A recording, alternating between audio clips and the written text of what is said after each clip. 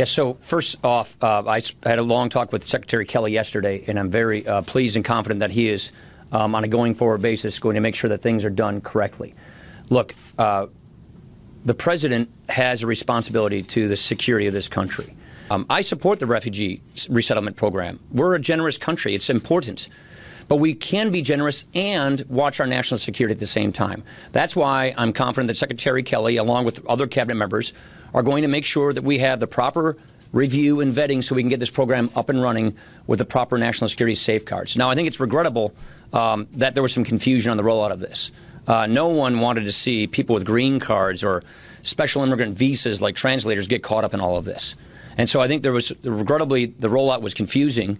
Um, but on a go forward basis, I'm confident that Secretary Kelly um, is going to make sure that this is done correctly, that they get a good review, and that we are going to make sure that we get this program up and running with the kind of vetting standards that we all want to see.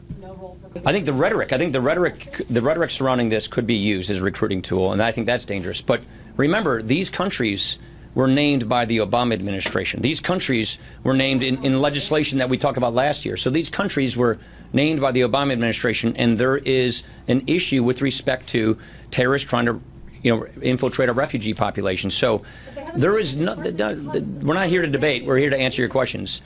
There is nothing wrong with taking a pause and making sure we have the proper vetting standards in place so that we do not have a problem like France had with, with Paris.